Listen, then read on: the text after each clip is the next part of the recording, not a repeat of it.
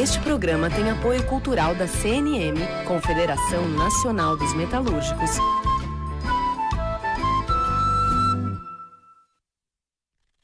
Livre para todos os públicos.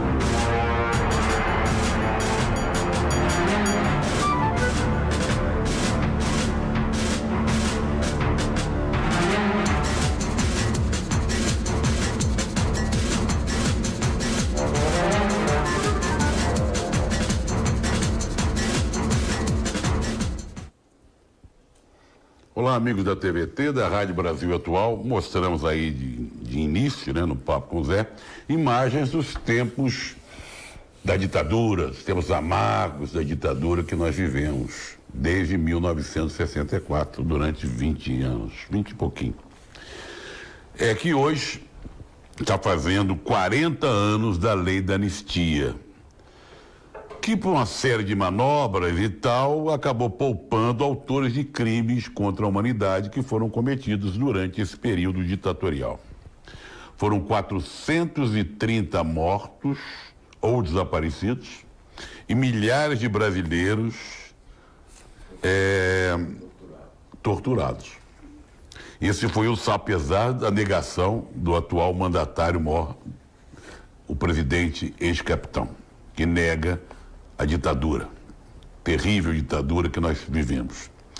É o saldo perverso no golpe de 64. Ao contrário do Chile, da Argentina e do Uruguai, que puseram na cadeia, condenaram esses torturadores, esses militares que fizeram tão mal às suas populações. É, por isso nós estamos, abrimos o programa para falar dos 40 anos da lei da anistia e vamos terminar o papo com o Zé também com um vídeo que lembra, infelizmente, os tempos perversos, malditos que nós vivemos durante esses anos tão sombrios que foi a ditadura militar. Saudações ao pessoal da TV Quirimurê, da Rede da Cidadania de Salvador. Aliás, é impressionante como tem gente de Salvador que entra e que assiste o nosso programa.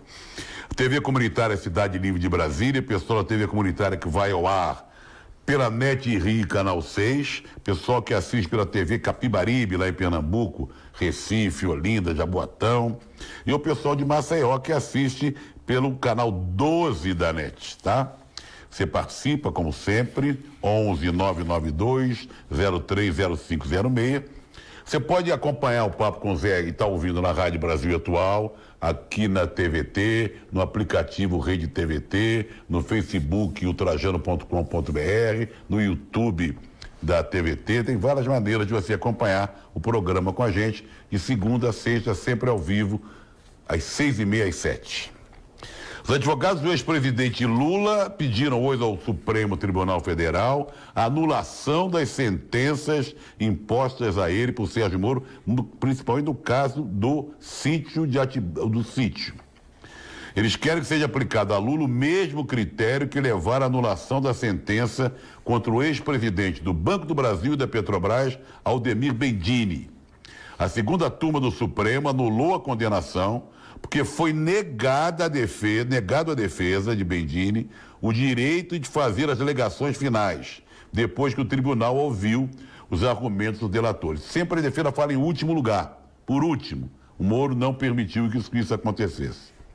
Essa notícia que os advogados do Lula vão pedir ao Supremo anulação das sentenças foi dada agora à tarde pela Mônica Bergamo, da Folha de São Paulo. Aliás, parabéns à Mônica, que faz um excelente trabalho jornalístico. As advogadas do Lula fizeram vários apelos ao ex-juiz Sérgio Moro para que fosse cumprido um princípio básico. A defesa, a última a falar. Mas nenhum, ah, claro, né? Nenhum dos pedidos foi atendido, tá?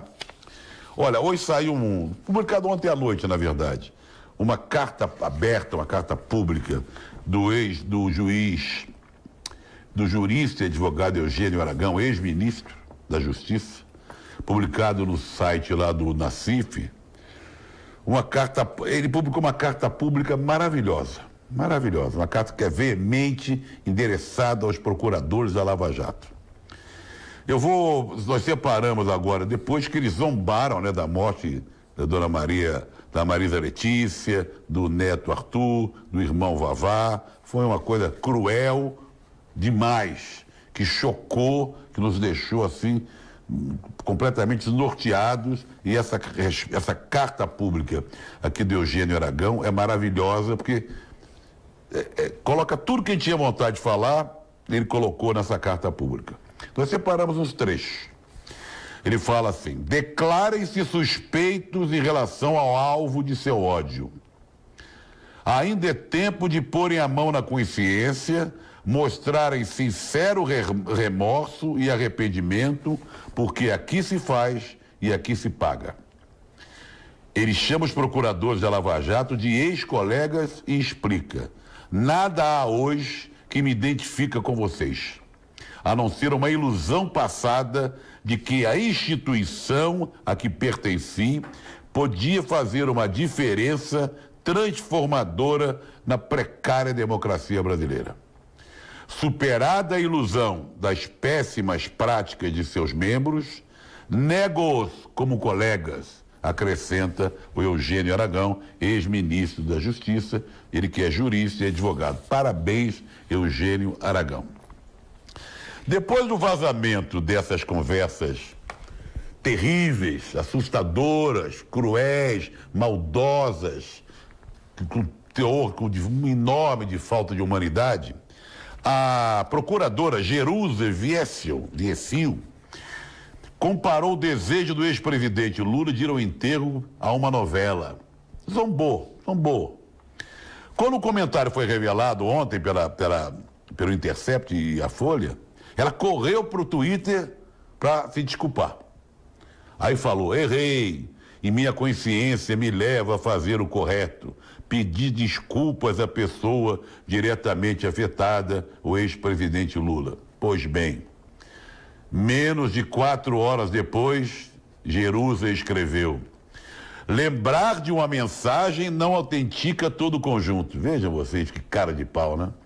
A existência de mensagens verdadeiras não afasta o fato de que as mensagens são frutos de crime e têm sido descontextualizadas ou deturpadas para fazer falsas acusações. Quer dizer, ela reconheceu então aquilo que eles negavam que essas mensagens eram falsas, adulteradas, não sei o quê, pediu desculpas e depois vem com esse trololó aqui. Ela, depois desse, vamos chamar de surto de sinceridade, a dona Jerusa Viecil usou o argumento padrão da Lava Jato, de tentar desqualificar né, as mensagens e culpar o mensageiro. Ô gentinha, ô gentinha, ô gentinha. Bom, Gessé, Gessé Souza, sociólogo, um grande estudioso da, da, da influência das classes sociais do Brasil contemporâneo, comentou no Twitter as últimas estarrecedoras revelações do Lava Jato. Essas que nós estamos falando aqui. Lava Jato não, Vaza Jato, né? Segundo ele, o ódio do procurador Deltan Dallagnol e de seus asseclas, o ódio deles ao presidente Lula retrata a verdadeira canalice brasileira. Gessé de Souza afirma que esse ódio vem de uma classe média branca, brega e racista uma classe que, segundo Gessé de Souza, se acha europeia sem compartilhar nenhum valor europeu. Parabéns também ao Gessé de Souza, assim como dei parabéns ao Eugênio Aragão. Vou pegar aqui já o nosso pessoal querendo participar. Vamos lá. Pim, pim, piririm. Já está aqui no 2, ó. Diego Machado, Lula livre. Manda um beijo para Marlene, que ontem sofreu uma queda. Ô, Marlene, vai se recuperar rápido. Nivaldo de São Bernardo do Campo, assistindo pela TVT. Ontem exibiu a, excelente entrevista com o presidente Lula, época em que o Brasil era respeitado, hoje é motivo de chacota. Lize de Salvador, boa noite. Como você? Boa noite, Lize. Saudações para todos. Mande um abraço à minha irmã que fez a cirurgia e está te assistindo aqui comigo. Beijo para vocês. Somos de Salvador, Bahia. Eu falei que o pessoal da Bahia acompanha muito aqui o Papo com Zé. Esther Barros e Marcos Santos, assistindo todos os dias. Não vou desistir desse país, diz o Marcelo Galvani de Santo André. Paulo Amaral de Salvador. Anulação de todas as condenações do Lula já. Lula livre. Boa noite, Zé. Adoro o seu programa. Beto de Suzano. Juarez, como sempre, está aqui. E o filho Pedrão, lá de Mogi das Cruzes. Sérgio Moro não quis se manifestar sobre a anulação da condenação do ex-presidente da Petrobras e do Banco do Brasil. É um covarde. Lula livre. Jura de Santo André. Boa noite. Fora Bozo, Lula livre já. E a Marinalva Góes, também de Salvador, está sempre de olho no programa e lamenta, ela quer mais que 30 minutos, quer quem tenha uma hora. Vamos dar um, uma refrescada aqui e falar de um baita músico, baita músico que hoje faria 74 anos, morreu cedo, morreu aos 35. E ele nasceu em 28 de agosto de 45, irmão gêmeo do João Carlos Assis Brasil, ele é o Vitor Assis Brasil, saxofonista de primeiríssima ordem. Ele morreu com 35 anos em 14 de abril de 81. Tocou com todo mundo, você imaginar, Ron Carter, Chico Coria, Divi Gillespie, aqui no Brasil com muita gente. Vamos ouvir um pouco desse mestre, desse gênio do sax, que morreu muito cedo, o Vitor Assis Brasil.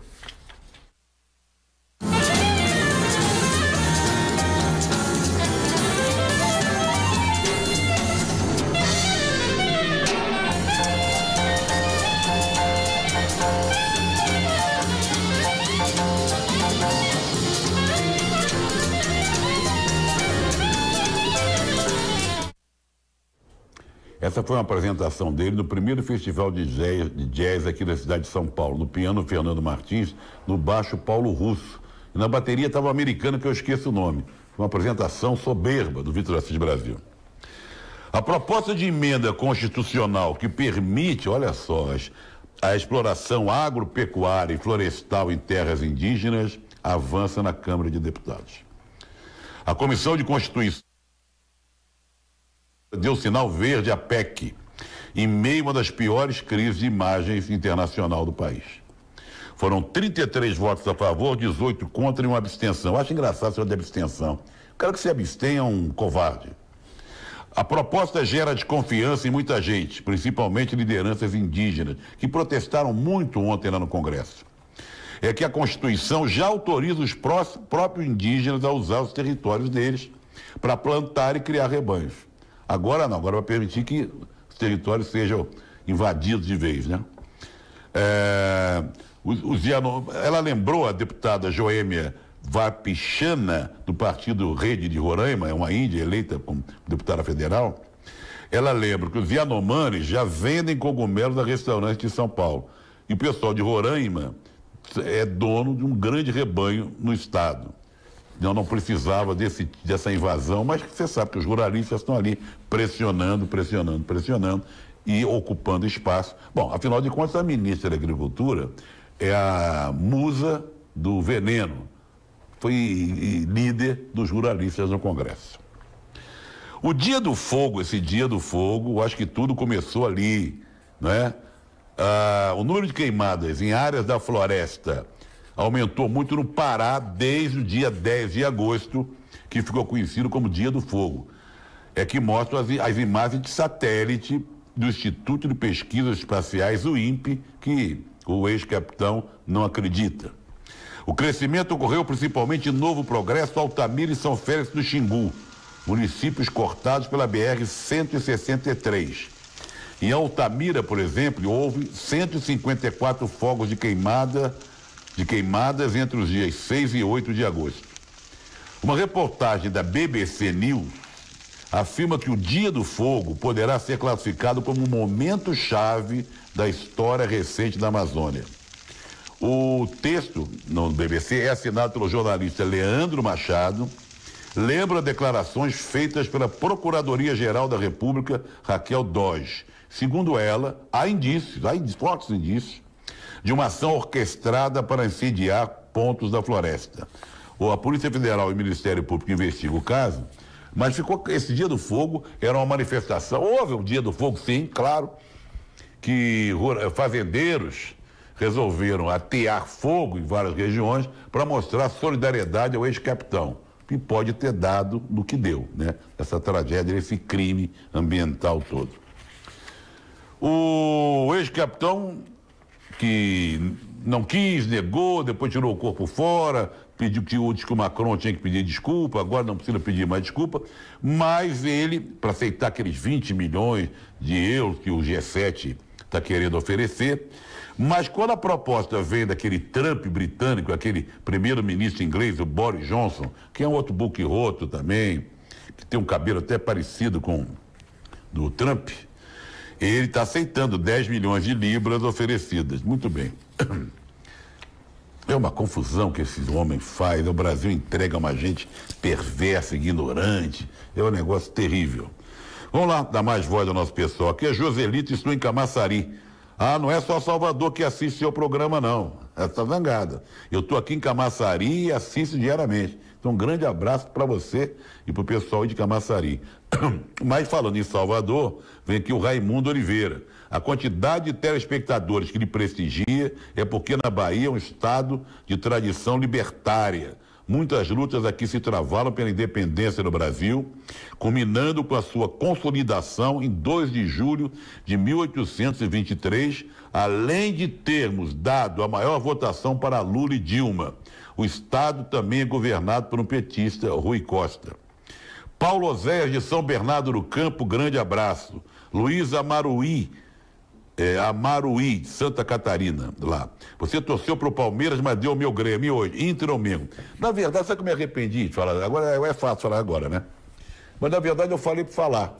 Eu gosto muito do Grêmio, é um time como aguerrido, é um time que, que gosta desse tipo de competição. E quando virou para 2 a 1 um, confesso que gostei. Gostei porque vai atrás. E hoje, Inter ou Mengo, olha, tudo leva a crer que vai dar Mengo, porque já tem uma vantagem de 2 a 0.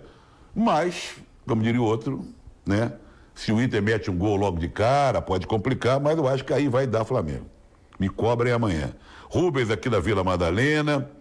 Pediram impedimento do Jair por improbidade previdencial. Boa noite, Zé. Aqui é Admilson do Ipiranga. Atualize, por favor, sobre os hackers de Araraquara. Eu?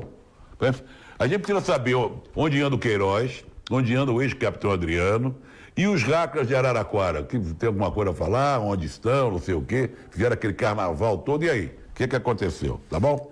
Vamos falar agora de teatro, cinema, televisão, porque nós vamos falar de, do grande Valmor Chagas.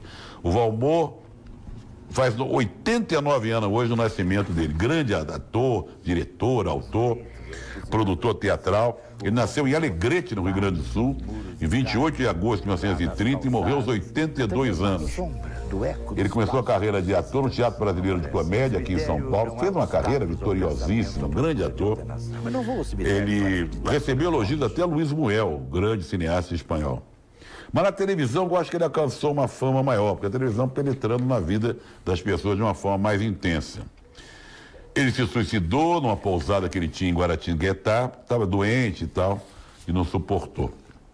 Lembramos aqui do Valmor Chagas. Bom, essa notícia aqui parece óbvia, mas nós temos números. A polícia do estado do Rio é que mais mata no Brasil. Novidade? Não. Quem tem um governador como aquele, tal do Witzel, não é novidade. Os dados são do ISP, do IBGE e da própria Polícia Militar do Rio. Em 2019, foi responsável pelas mortes de 9 a cada 100 mil habitantes. A taxa é três vezes maior que nos demais estados do país. Que coisa, hein? Três vezes maior que nos demais estados do país. De janeiro a julho deste ano, foram 1.075 mortos, uma média de 35 pessoas por semana. Os, os, assassinatos cometidos pela polícia vêm crescendo desde 2014 e até atingiu agora o seu ápice, né? Sobre a administração desse genocida que é o Witzel, que se elegeu, ninguém sabe como, tá bom? Vamos voltar a falar de música, porque eu falei do Vitor de Brasil, mas tem um irmão gêmeo dele que está vivo, toca, ele, ele flutua ali entre o clássico, o clássico erudito e o popular, um grande pianista, o João Carlos de Assis Brasil, também completando os 74 anos. Uma sólida carreira internacional. Então a gente, a gente escolheu um trechinho de, um, de Ernesto Nazaré. Vamos ouvir um pouquinho do João Carlos Martins, é, Assis Brasil, é, que completa aos 74 anos, e irmão gêmeo do Vitor Assis Brasil, que morreu aos 35 anos. Vamos lá.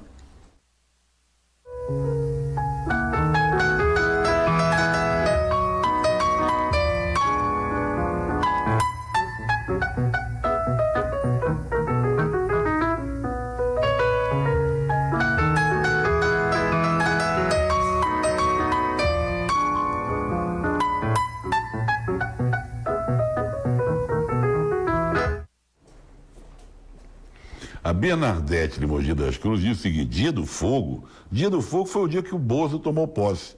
Tá fogo aguentar. Ela é de Mogi das Cruzes. É, o Gilson também de Camaçari. Falamos de Camaçari, tá? Estamos juntos. Tiago Silva, aquele abraço direto da Alemanha. Um abraço para vocês aí. É, sou seu fã, já difícil esse país governado por ex-capitão, fazendo o que quer e bem entende, nosso judiciário assistindo de camarote. Josué de Salvador. Não estou falando que Salvador aqui é demais? Trajano, manda um abraço para o meu amigo enxadrista baiano Pinto Paiva, campeão brasileiro que te assiste sempre. Ana Marinho e o Sérgio Guimarães, Lula Livre. Tá bom. Um grande abraço então para o Pinto Paiva, grande enxadrista. A moçada lá do Cefete no Rio de Janeiro, ali perto do Maracanã, da escola técnica, não é de brincadeira não. Entrou lá um interventor hoje, a mando do do esse ministro desastrado Boquerroto da Educação, o senhor Maurício Vieira, diz que é, é provisório, sei lá o quê, pá, mas segundo o ministro, ele entrou ali, mesmo provisoriamente, se for provisório, para eliminar petistas e psolistas do Cefet. Prestes a assumir o, o posto, ele se reuniu com coordenadores do colégio, só que os estudantes, que já tinham repelido uma vez, agora fizeram nova barreira humana para impedir que ele deixasse a sala da reunião. Vamos ver a manifestação forte desses estudantes que estão ali na luta no Cefete do Maracanã, perto, é, perto do Colégio Militar, aquela região, São, Rua São Francisco Xavier e tal. Eu, como tijucano, já passei muito por ali. Vamos ver e ouvir.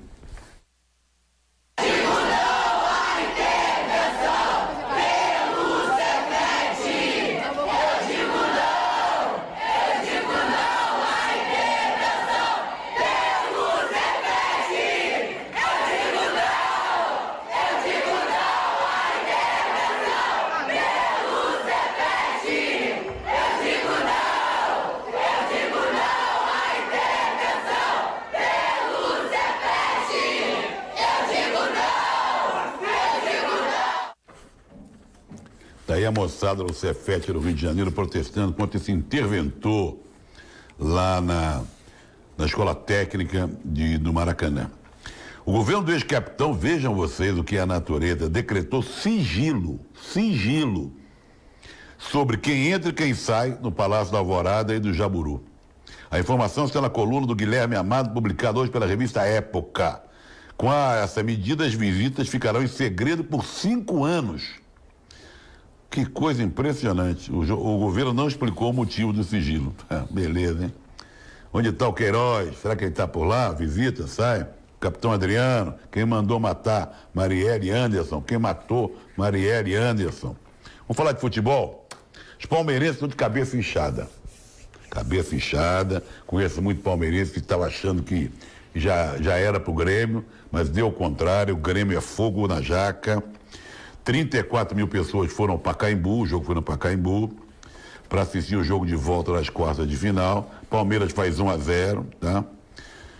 Luiz Adriano, mas não é que em poucos minutos, com a, a performance sensacional desse Cebolinha, 1 a 1 2 a 1 e no segundo tempo o Filipão tentou, tirou o William, botou o Davis, não sei o quê, mas o Grêmio mandou no jogo, foi melhor.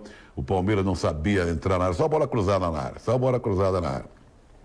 O Grêmio se classificou. A semifinal é em outubro e o Grêmio vai pegar o vencedor do jogo de hoje, Flamengo Internacional. Quem nos fala sobre isso é Cláudia Regui. a terceira semifinal consecutiva do time do Renato Gaúcho. Esse Grêmio impressionante, tinhoso, arrumado, com um repertório que o adversário não tem, com um time respeitável, poderia até ter feito mais gols. Não foi tão assim guloso no segundo tempo. É, Defendeu-se a maior parte do tempo, correu algum risco deixando o Palmeiras ficar pingando bola na sua área. Mas no final teve até chances mais claras no final. Uma jogada do, do PP espetacular, que a bola passou raspando, o gol do Everton. O Everton fez uma defesaça também no chute do Jean-Pierre. O Grêmio saiu com justiça com essa vaga. E o Palmeiras, quanto a isso, tem que repensar. Depois de ter se eliminado por outro gaúcho, o Internacional, nas quartas de final da Copa do Brasil, é eliminado agora pelo Grêmio, outro gaúcho. Bom, o comentário completo você encontra lá no canal Arregui no YouTube. Tem uma enquete sobre esse jogo de ontem, sobre o Filipão. Chegou ao limite modelo Filipão no Palmeiras? Arroba Ultrajano. Vamos ver o que, que o pessoal fala. Arroba Ultrajano. Chega... Se 81% contra 19% Filipão. Então tá. Agora subiu no telhado, viu? Subiu no telhado. Vamos falar do jogo de hoje, Flamengo Internacional, lá é, no Beira Rio. 45 mil pessoas estão sendo esperadas lá para torcer pelo, pelo Inter. É, 48 mil, sobra uma pequena porção para a torcida do Flamengo. Muito bem. O Flamengo fez 2 a 0 no Maracanã e eu acho que o Flamengo leva. Mas vamos ver o que, que o pessoal diz sobre o nosso pessoal. Tem uma enquete também.